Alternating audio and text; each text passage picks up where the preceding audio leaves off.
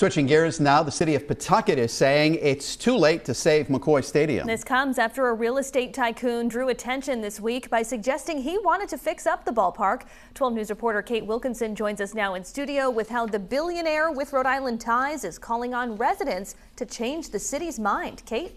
Voters in Pawtucket already signed off on tearing down McCoy Stadium. Now Stefan Soloviev is hoping to gain the support uh, to save it.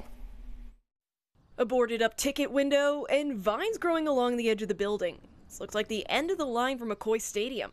But in an interview Friday with WPRO's Tara Granahan, billionaire Stefan Soloviev says he's willing to not only save McCoy, but also bring back baseball. Again, right now I'm told I can't buy the land. But the people of Rhode Island can have to do some groundwork here on a local level if they want this to happen. Soloviev is the chair of the Soloviev Group, which has its hands in residential and commercial real estate along with agriculture.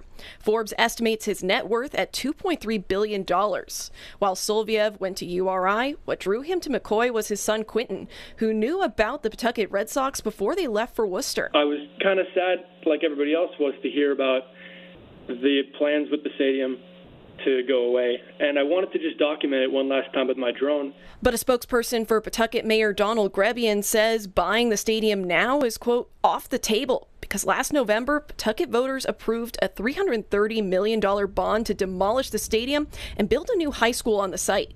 Grace Voll with the mayor's office says that Pawtucket leaders are open to talking about redevelopment opportunities in other parts of the city. But Soloviev said as of Friday morning, he still hadn't gotten on the phone with the mayor.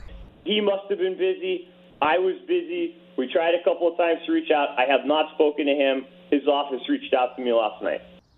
Soloviev says that if he can make this happen, he doesn't anticipate the new baseball team would be a AAA club like the Paw Sox, but he does think it would be profitable.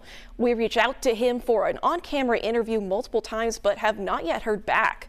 Live in the studio, Kate Wilkinson, 12 News.